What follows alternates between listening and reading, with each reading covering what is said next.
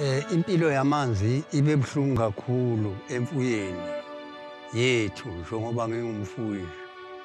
Zeswela amanzi zihamba indawo ende ezinye zafela endleleni. Besihamba sokhelela iy'mbuzi ukuthi nazo y'phume. Bese kuthi-ke siphinde ubuyele futhi usuyokha wakho uziyophuza. Kulezi nyanga njengobe siqala ukuthi siwabone lamanzi. Kayisa ayisahluphi. Zisamile. Zisaphuza, zisaphuza kahle ngoba akusenzeki lokho kade kwenzeka ngaphambili.